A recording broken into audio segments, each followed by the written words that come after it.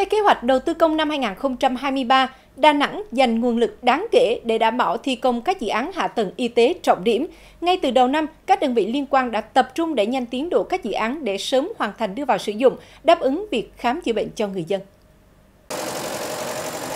Đây là dự án trung tâm ghép tạng và cấy ghép tế bào gốc tại Bệnh viện Đà Nẵng.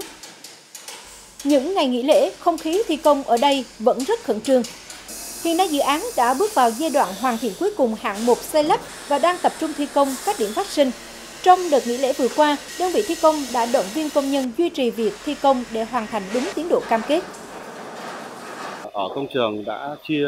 ờ, cái ca làm việc ra thành hai ca khác nhau. Một ca là ca ban ngày và một ca là ca ban đêm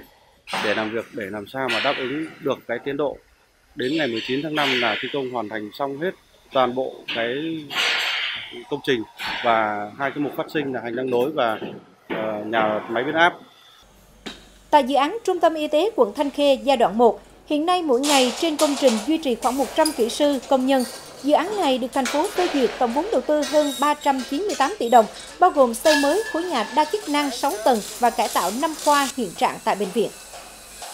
khối lượng thi công cũng đã đạt được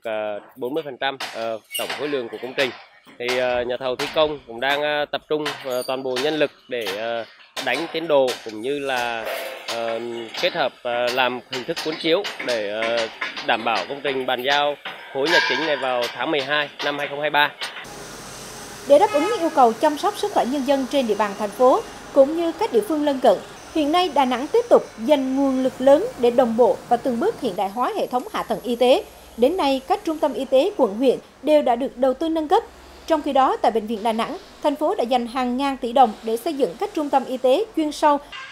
Đặc biệt, sau 10 năm đưa vào sử dụng đã bắt đầu xuống cấp, thì từ cuối năm 2022, thành phố đã triển khai cùng lúc hai dự án tại Bệnh viện Phụ sản Nhi Đà Nẵng với kinh phí hơn 1.578 tỷ đồng giải quyết nhu cầu bức thiết trong hoạt động khám chữa bệnh hiện nay.